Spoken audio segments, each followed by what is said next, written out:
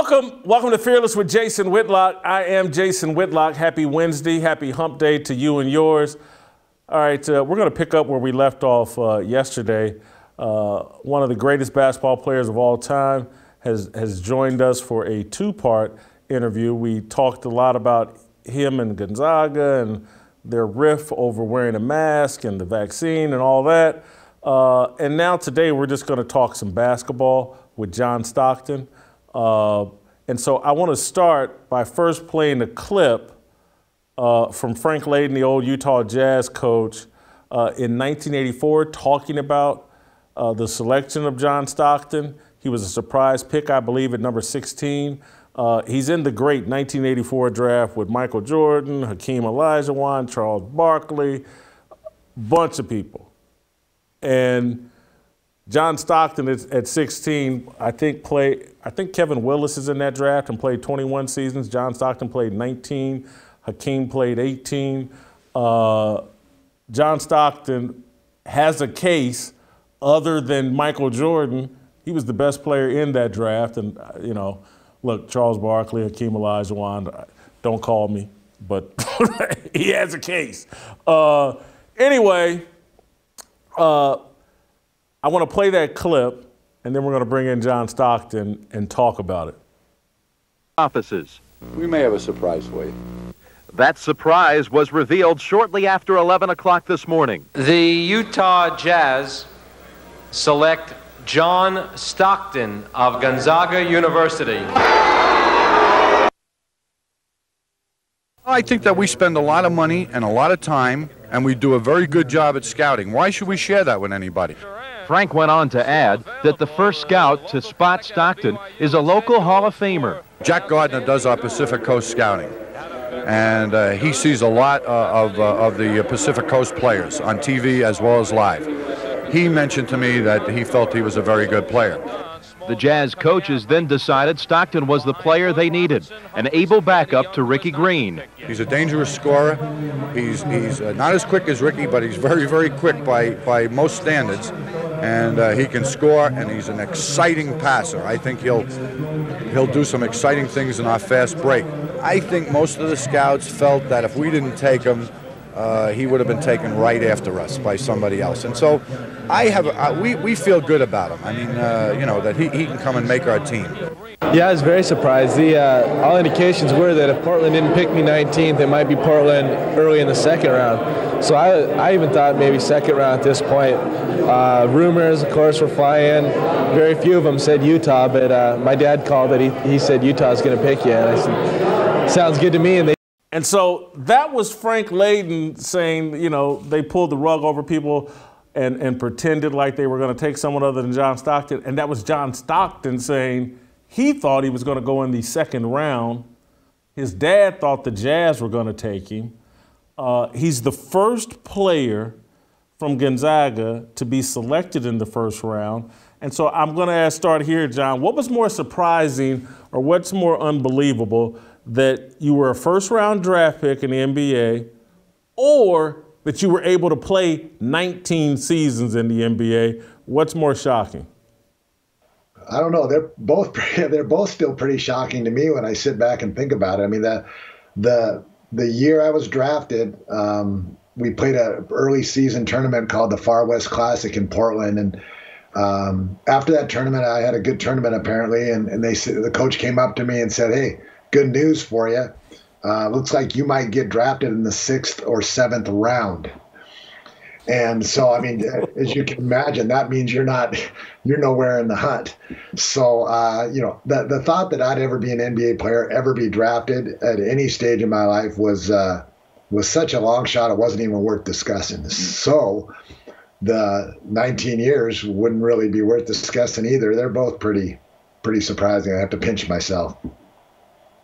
Yeah, and so listening you talk back then, you really seemed to go into camp and that experience thinking, let me be the best backup for Ricky Green uh, that I can be. You weren't thinking about, okay, in three to five years, I want to be an all star.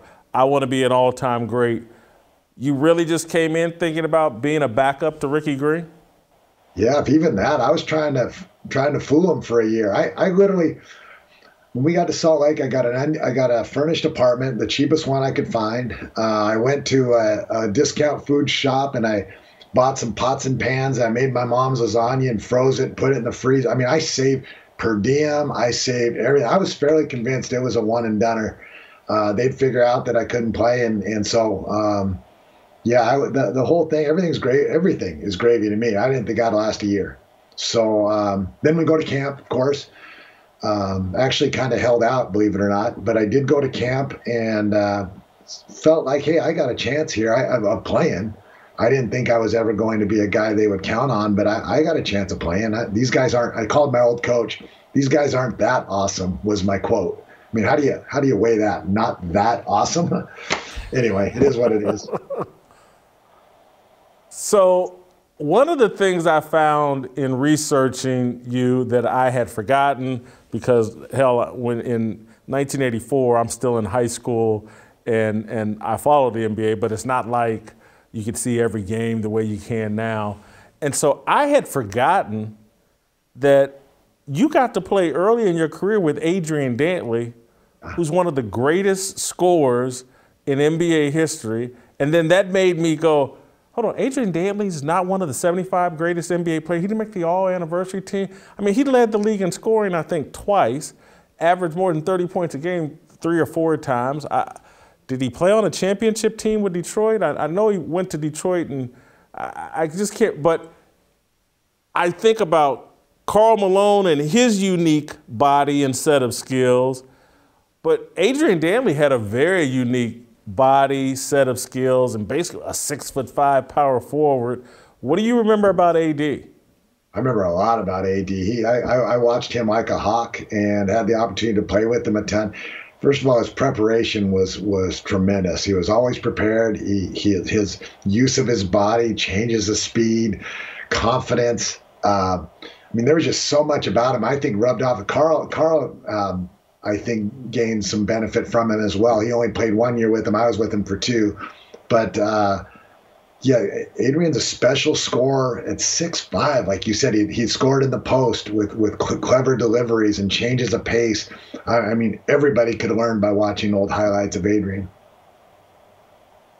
I'm going to tell you the other thing that switching back to you and just what's so unique about you, particularly when you watch today's basketball and and you'll have to correct me because again, did you ever dribble between your legs or behind your back?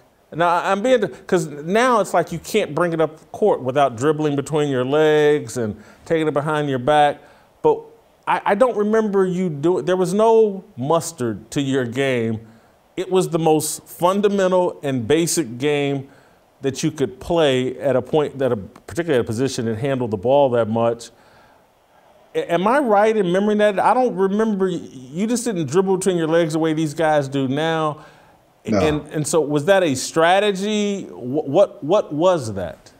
Well, it's it's obviously different. I, I did. You have to have it used every tool. So did I practice dribbling between my legs? Absolutely. Behind my back? Absolutely. And used all of them. And there wasn't a spin moves. I used. I mean, I used every move. All these guys are using them. I just didn't use five of them at a time and uh, tried to be as efficient with it as I as I possibly could. And and so yeah, I mean between the legs was was once or twice. It just kind of sets it up and puts it in the right side without putting the ball at risk.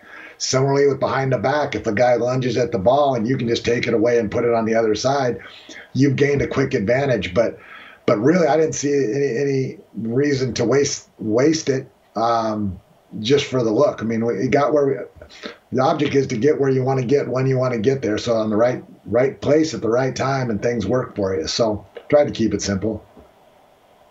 All right. So some of the greatest players have said some of the greatest things about you. Charles Barkley says the best pure point guard ever. Uh, Magic Johnson, he's the best leader he's played against. Gary Payton said it was more difficult to defend John Stockton than Michael Jordan. I don't know if the praise can get any higher than that. Do you agree, or what, what? What's your reaction when you hear all-time great players saying things like that about you? Well, it's uh, especially now. I mean, we're friends with all those guys now. Uh, you know, you it, it affords the opportunity to say nice things about them that you would have never said when we were playing against each other, and it's always appreciated. I mean, you let's let, I mean to be appreciated by your by your coaches, your teammates, your fans. That's big. That's just really big. And then opponents is a whole nother step. And I mean, I have uh, we could take those three guys and I could talk for a half hour complimenting them. Uh, I mean, Magic Johnson, I think is one of the best all-time players, and in the in the in the hunt for the best of all time. Uh, Charles Barkley is one of the best people I've ever been around. I watched I watched him do things that that that um, were so kind and so giving. Uh, in addition to what we see, you know, the personality that we see, he he shares that with everybody. Uh, Gary Payton, again, he's another guy that's become a friend over the years, and and his contribution to the game, to Seattle, to Washington State, and um, you know, you just can't you can't quantify any of that. It's uh, these guys are great players. I talk about them forever, but that's a quick snippet. So um, you know, it, it makes me proud to to hear those things. Um, feels good. We we ended the first interview with you talking about Isiah Thomas, and and you made reference to, I think meeting him maybe as a high school player and it opening your mind to like, oh, even though I'm undersized and small, I can compete at the highest level. Then you talked about while you guys were in the NBA, you were at each other's throats, and there was real animus there, com- good competitive animus. And then you get to the end of your career, you get inducted into the Naismith Hall of Fame, and Isiah Thomas is introducing you. What happened? How did, how did y'all go from such fierce competitors to the guy that introduces you at the Hall of Fame? Well, the guy the guy I fought most with on a basketball court in my entire life was my older brother, and yet I love him, right? So, and, and I mean, I had more bloody knees and elbows and foreheads and whatever. It's it's tough to be a little brother, but it's you know he's he's my best friend, and so um, I think that that carries on. So uh, we had knockdown dragouts with Isiah and the, and Detroit, obviously. Um, I admired him. He, I mean, he he raised the level for me as a high school guy. I got to watch him through college. He's just a little bit older than me, and, and, and amazed. And, and I learned by watching. And then I he was in the league well before me, and I got to watch that. So um, his, his how he competed against me and how he uh, responded after games was always something that I appreciated. Uh, when he had retired, but he had started coaching, he pulled me aside a couple of times and just offered a little, you know, a little pat on the backs, you know, with, with suggestions that that just couldn't have been better timed and and and more helpful than they were. So when it came to, to see who would announce me, it, it was an easy choice. I mean, there was just really nobody else I could think of that that impacted impacted my life so many times um, as him. So again, good friend, uh, continues to be so, and um, I'm grateful for that relationship. And so, in 1992, when the Dream Team controversy is raging, uh, and and I can't imagine you guys were that cordial back then, but maybe you were. Uh, you know, you've already admitted that when you guys were playing against each other, it was very competitive and some little anger fueling on both sides. But how did you handle the Dream Team controversy? Because there were two separate ones. There was, well, Michael Jordan didn't want Isiah on the team, and then there was, how could they put John Stockton on the team ahead of Isiah Thomas?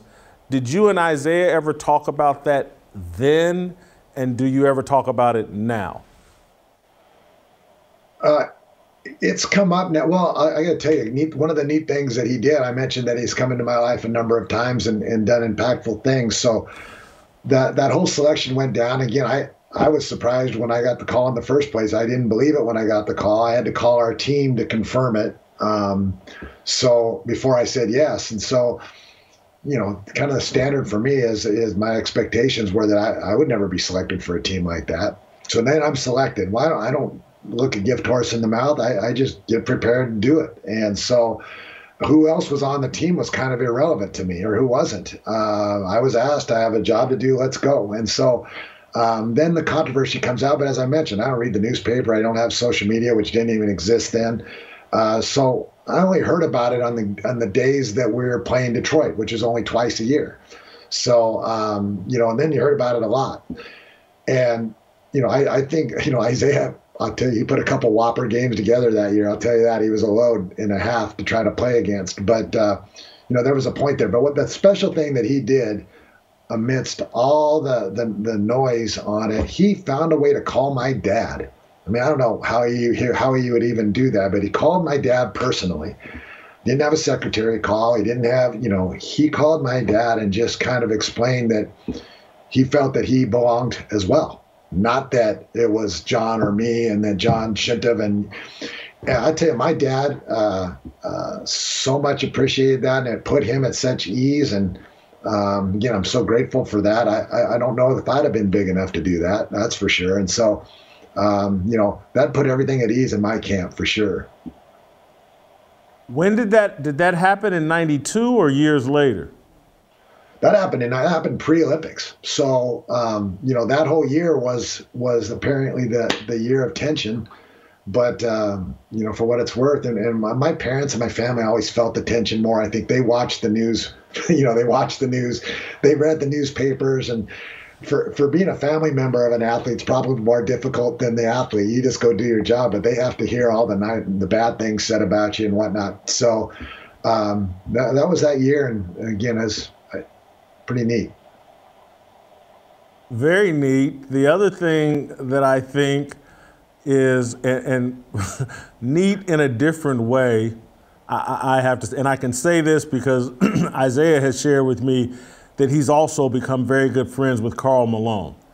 Uh, but clearly, your relationship with Karl Malone is one of the most unique experiences, I think, in basketball because look, Scottie Pippen and Michael Jordan, look at the tension between them. Uh, Shaq and Kobe uh, clearly had tension. it seems from afar, Karl Malone and John Stockton was nothing but love to the point that when when Karl Malone felt like uh, he needed to stand up for you or I don't know, knocked Isiah down a peg or two. He did it. Uh, and so I, I, the, the, the bond between you and Karl Malone is, I, I don't know what I would compare it to in sports. Uh, you know, I don't think Magic and Kareem, not that they didn't get along, but they were such different guys. I, I don't think they had that kind of brotherly bond that you and Karl Malone have. Uh, tell me about your relationship with with Karl, the mailman, and, and just why you two, uh, and maybe it's because you're both kind of small town. I know Karl's from the South and the country. Uh oh.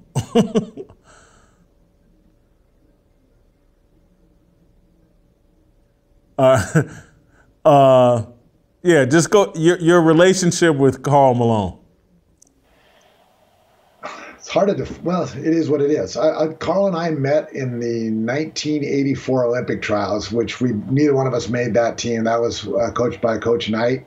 Um, we're going to the lunchroom one day. We don't know each other from adam. And uh, there's a table open. And Karl and i just kind of plunked down next to each other and started a conversation. And it was unbelievable how easy the conversation was. It was you know, that, that was a tense time. There was what 80 of us or 70 of us, something like that, all practicing and trying in three practices a day, two hours each, to try to make a team of 12. And so, you know, it was all cordial, but there was there was no love lost between probably anybody there. But he, he this this kid from Spokane, that country kid from Louisiana, sat down on a table and had a conversation that that lingered. You know, we we enjoyed the talk. So fast forward two years, I, I, I, go on to the Jazz, and Karl finishes college, and and and he gets drafted by the Jazz, and I said, man, that's kind of a coincidence. I, I know that guy. You know, we I'd even almost almost call him a friend. We we had a nice conversation. So he comes to Salt Lake and he and I go walking through Hogle Zoo up there together one day and just kind of reacquaint ourselves and and we weren't wrong. We were there there was something there. We, we were going to be buddies. And then when we got on the court there, I, I felt there was something magical. The guy read my mind. Um, he caught everything. He finished everything. He had uh, all my work ethic and then some. Um, he, he loved the game and just one thing after another, just kind of bond, bond, bond, bond. Um, to where now he's he's literally inseparable for me as a brother. I mean, we don't see each other every day. We talk occasionally on the phone, but uh, you know that, that term's probably overused. But there's nothing I wouldn't do for Karl Malone, and I think there's I think he feels the same way. So, I, I listening you to describe it from afar, we would think, well, okay, this is Joe Montana and Jerry Rice. That John Stockton's the quarterback and Karl Malone's the receiver. But you kind of described it a little bit. It's more of a combination. He read your mind and understood how you played, and you read his mind and understood how he played. It, it just seemed like such a natural fit. Uh, I don't know, you handed the mailman the mail and he'd stuff it in your mailbox. well, you don't hand the mailman the mail if he doesn't deliver. You know, there's a reason why it looks for him. I mean, I, I think think of a pass. It's it's it's one of the most memorable plays for me that that, that largely went unnoticed. But seven foot four Ralph Sampson was on the low side of Karl, just draped over him. There's nothing but his long arm completely shielding any passing angle for Karl at all. And of course, I have a guy guarding me. And I don't know why I threw it, and I don't know how this came to be, but I threw the pass behind Ralph's head, and Karl's looking this way. And just as I started to throw, he wheeled and caught it behind Ralph's head like that and laid it up. And I went, wow, what what was that? I mean, he is literally reading my mind because I threw a dart. I mean, it's it was probably going to knock the cameraman out if it got through. And he just snapped it up, laid it up like it was nothing, and we went down the other way. I said, "There's there's something special about this guy," and that was very very early in our career because I you know by the time by the using Ralph as an example, it is early in our career. All right, let me tell you about my friends at Patriot Mobile. If the truckers have taught us anything, it's that we're infinitely more powerful when we stick together. The same goes for supporting businesses that believe in this country and your right to live free. That's why I'm proud to partner with Patriot Mobile, America's only Christian conservative cell phone provider. They use the same towers as the major carriers, so you get the same great nationwide coverage. Patriot Mobile has plans to fit any budget, and their 100% US based team provides exceptional customer support. More importantly, Patriot Mobile shares your values and supports religious freedom, constitutional rights, and sanctity of life. Go to patriotmobile.com slash Jason or call 972 Patriot. Get free activation with the offer code JASON, that's J A S O N. Veterans and first responders save even more. So make the switch today. Support a company that loves America, loves you, and shares your values. PatriotMobile.com slash Jason or call 972 Patriot. More with John Stockton. Thanks. So obviously, Karl, we're going to take Karl off the table as best guys you played with or against uh, in the NBA. Uh, when you start thinking of the two or three guys that that you would, and from your era, that you would pay money to see because you just love the way they approached the game, love the way they played the game, and they were going to dazzle you who comes to mind most easily?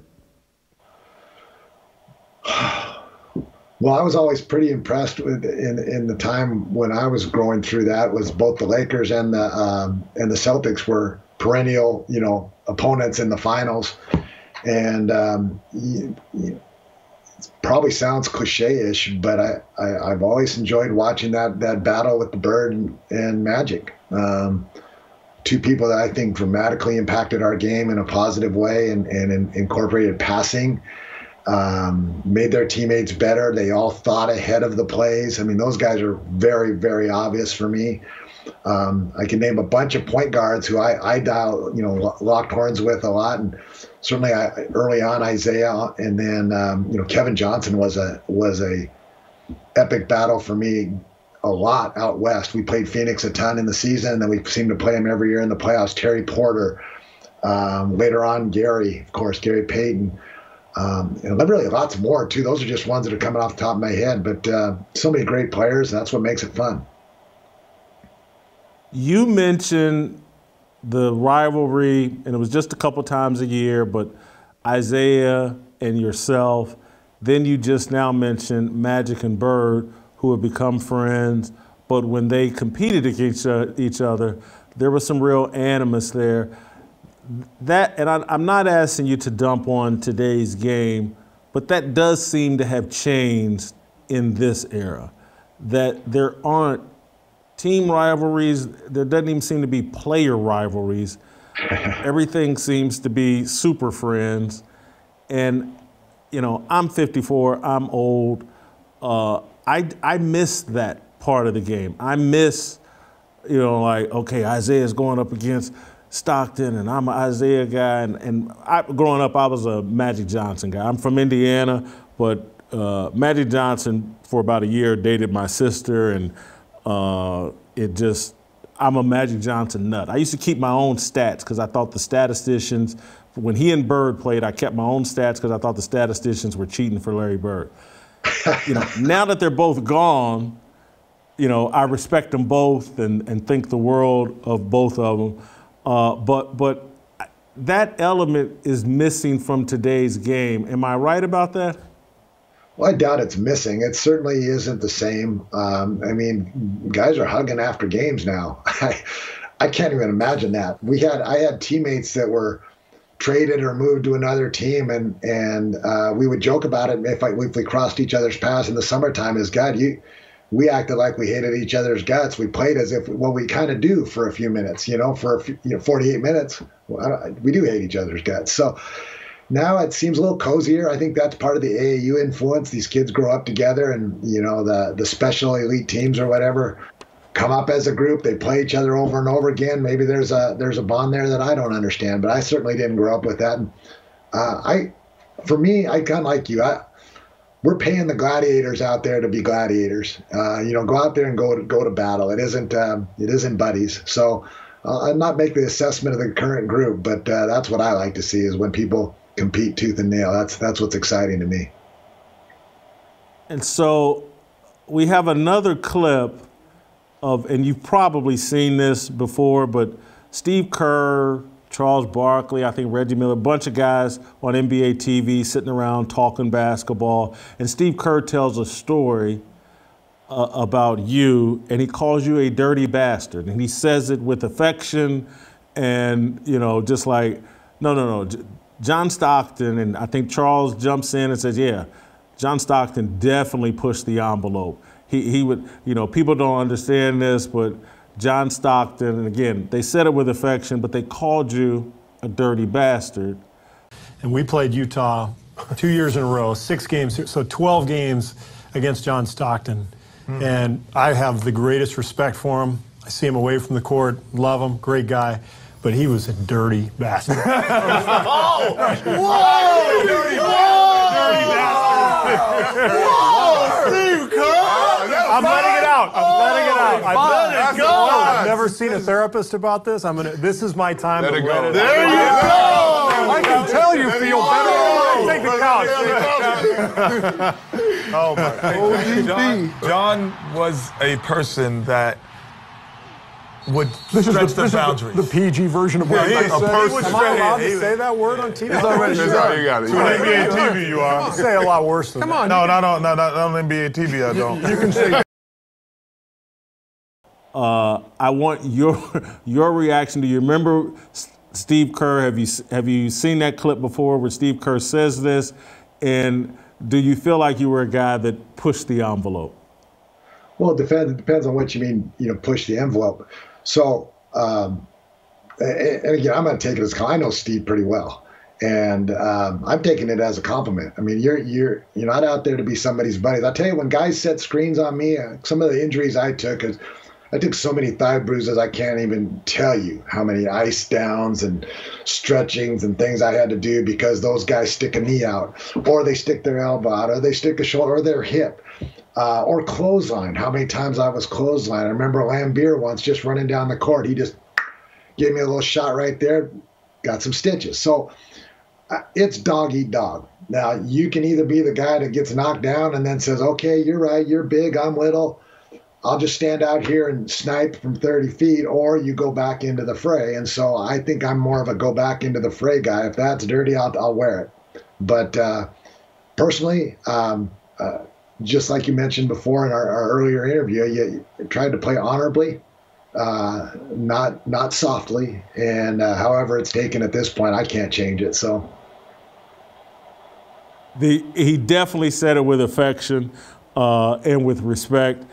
The other thing that you just mentioned that a lot of people talk about and, and just kind of goes unnoticed, people consider you one of the best screening point guards in the history of basketball. That John Stockton at six foot one, 165 pounds, set some of the best screens in basketball.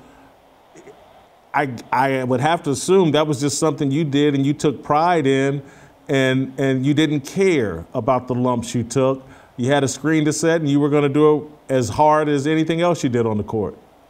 Well, it doesn't. I'm only you mentioned I'm only 175 pounds, and so to do it hard isn't really how it works. I think there's a you have to try to be clever. I mean, you're screening. If you can get a mismatch, you can get a guy my size guarding Karl. That game's over. And so um, you know, you try to get a body on a person that they where they don't have an angle to gain leverage on you. You try to get it in my case where they couldn't elbow you in the head as they're trying to fight through the screen, right? Um, so you put your head in a place where they can't get to it. Um, you try to figure out the angle that Karl's trying to go or somebody else you're setting the screen for, and try to be clever. And then you just hold your ground. I had a trainer at Gonzaga who, who who's become and still is one of my all-time best friends, Steve DeLong, and he used to joke. He was a wrestler. He used to talk about I anchor myself to the center of the planet. And he, he says it, he doesn't smile or joke about it, but I get what he means. And so when I'd go in there and set the screen, I'd try to anchor myself to the center of the planet so that I couldn't be budged. And, you know, if you're low enough, uh, the weights balance out a little bit. So I took pride in them. I was asked to do it a lot. Jeff Hornacek on our team was also asked to screen a lot. And um, heck, if it makes your team better, why not? So I think most people would say the three point shot you hit over Charles Barkley in 97 sent Utah into the NBA Finals. We would call that your greatest memory or our greatest memory of John Stockton.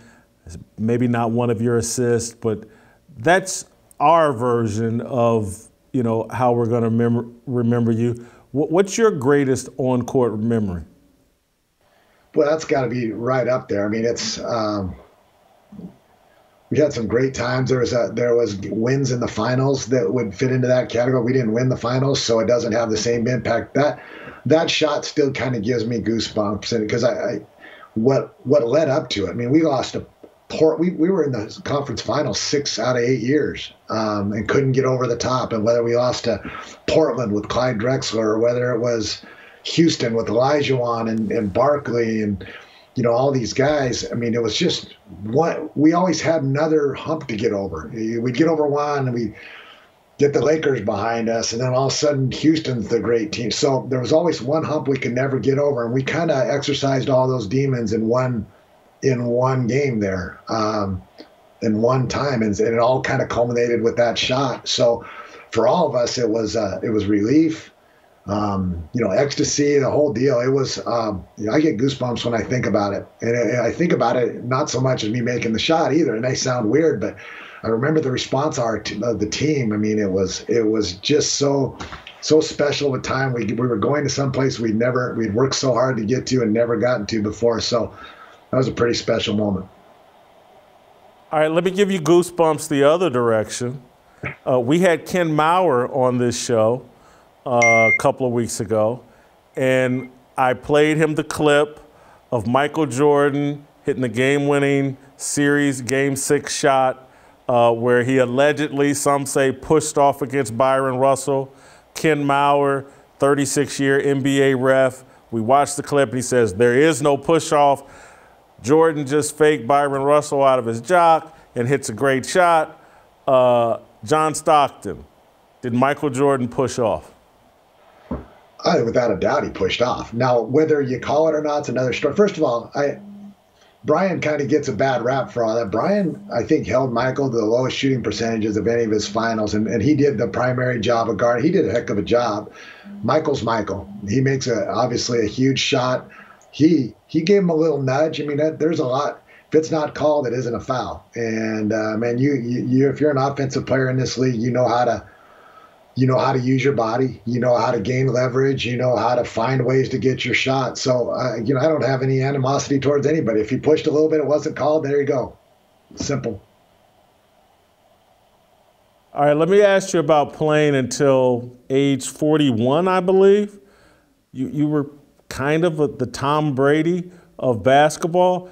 Sure, it'd be nice to have seven titles, uh, but, you know, looking at being able to play at a high level until age 41 because if you wanted to sneak in another year you probably could have uh, i think you averaged double digit scoring uh, your final season in the nba but do you ever look at what tom brady's doing and, and you guys probably share i don't know if you were tb12 and thought about everything you put into your body to, in order to survive. I don't know if you were the health nut that Tom Brady was, but, but what I look at with, with Tom Brady is he's organized his life in a way to where he can still be successful as an athlete, high level athlete, all the way up to age 44, 45. And that's where I see similarity.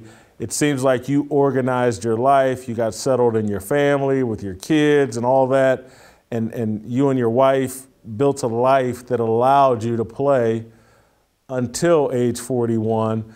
But do you ever look at Tom Brady and, and see similarities between you and he? And I know, again, I don't, uh, you're a modest person. Brady's got seven Super Bowls, but you both playing at a high level for a long time. Well, yeah, I wish there were more similarities. The uh, that guy's kind of special. I mean, he's uh, kind of as, it might be the understatement of the century. But we're talking the greatest of all time, and um, you know, I. But I guess I'll bounce it. Do I see some comparison? Yeah, I think that there's a there's a, a mental preparation that I, I, would like to think that I adopted some of that some of that stuff. Uh, clearly not as successful.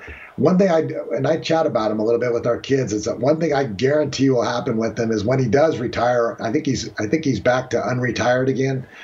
Um, yeah. But when he does retire, he's going to find out he gets old real fast. So now you're in the locker room with all these young guys, and you're you're you, and it's never changed. And then you're going to quit, and then two years later you're 50. You know what I'm saying? Just like that, you're 50. And so you, mother, mother nature, father time. Uh, it's going to be quite a shock to him in a few years, but I, I do nothing but admire that guy uh, over and over again. I sit there and watch him, and he's a marvel, absolute marvel. I, I know exactly what you're talking about. You're in a locker room and he's 45 and there's 20 and 21 year olds in that locker room. And so he's hearing their language and slang. And then all of a sudden you retire and you're two years away and they're speaking a totally different language. The music's changed. Every you know what movies just came out you don't know anything about because you're off in a whole different world and environment uh, than the young people. Uh, hey, Dwyane Wade has an ownership stake uh, in the Utah Jazz. And I was wondering if did NBA ownership or being part of an ownership group, did that ever cross your mind? Um, I, I, had a guy mention it to me once. It wasn't associated with the team. He Just um, was trying to figure out if I would ever be interested at some time. I don't know. It's never been it's never been put before me in a, in a real way. So I haven't spent any time thinking about it. So not really, no. Final question. I'm gonna let you go, and I really appreciate this. Uh, one thing that I have, because I've been to Salt Lake for some NBA games. I've been to Salt Lake uh, for some college basketball games. uh, back when I was an on the road sports journalist, and always had a good time and was always treated well in, in Utah. And over the last few years, and, and I've heard a lot of people uh, criticize jazz fans. And a lot, I'm not going to ask you because I don't want to drag you into controversy, but a lot of it to me was driven by Russell Westbrook. And, and I, I'm, I do not want to drag you into a Westbrook controversy. I'm not a big fan of Russell Westbrook, and I, I don't like the way Jazz fans have been smeared. And so I, I just, when I think about Utah, I really think about you and Karl Malone, uh, the peanut butter and jelly of ebony and ivory of the NBA, and and it, it seemed like th- this whole thing of demonizing jazz fans seems like a kind of a new thing that wasn't there when when you guys were playing, and so I just wanted to give you an opportunity to talk about your experience with jazz fans and how they were perceived during your playing time.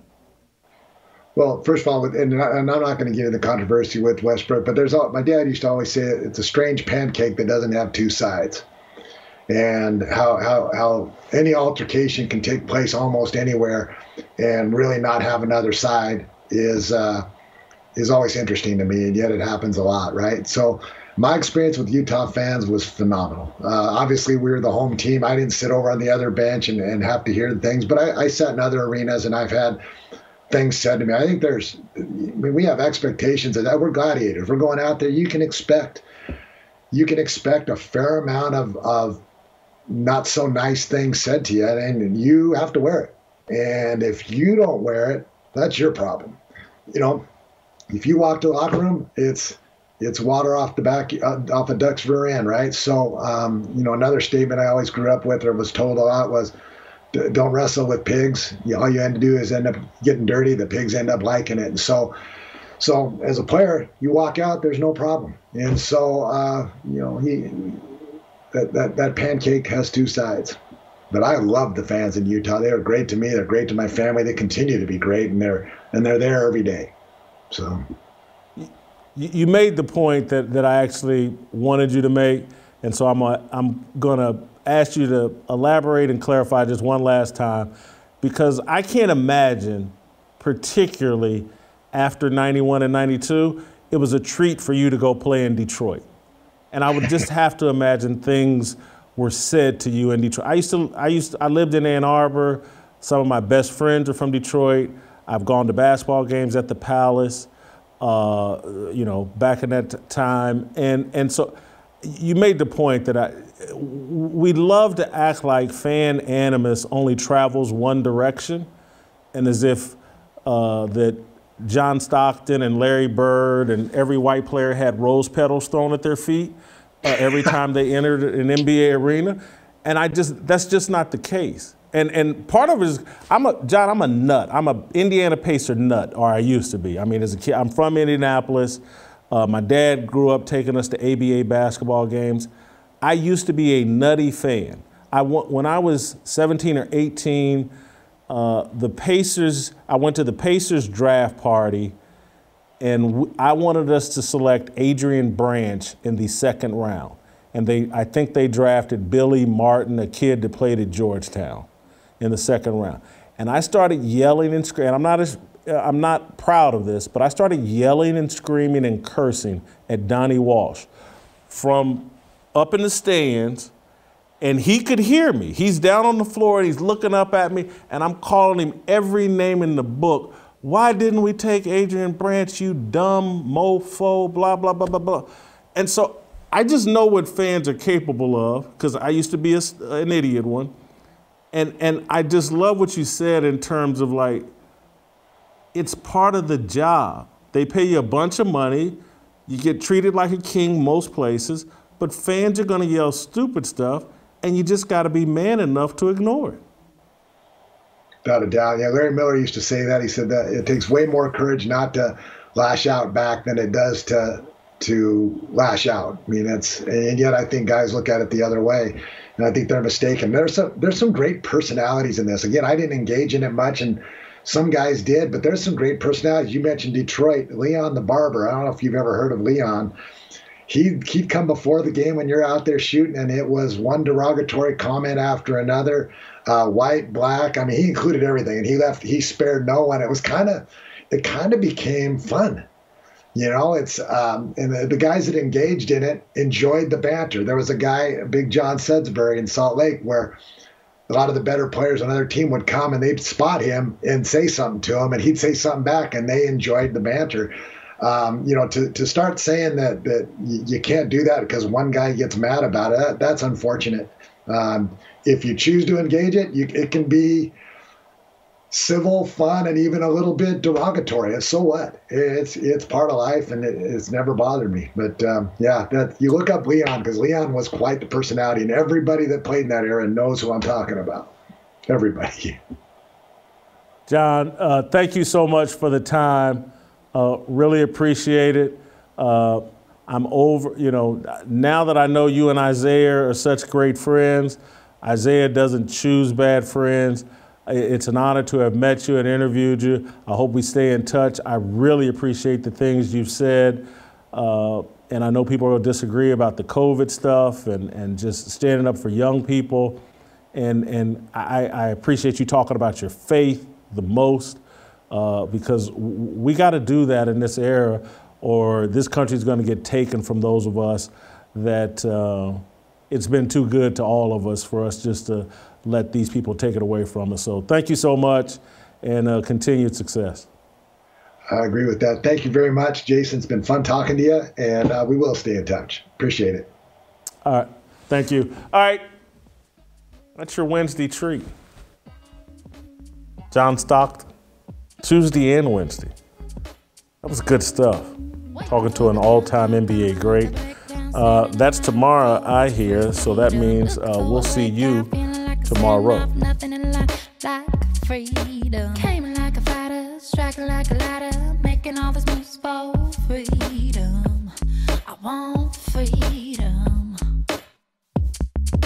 No negotiation, my sister, no relation. We all just wanna have freedom. Sitting on a corner, never been alone. I'm breaking my back for freedom. Blessed, we are living, get back. We are receiving, all deceiving. We all wanna be free. We want freedom. I just want, I wanna be, I just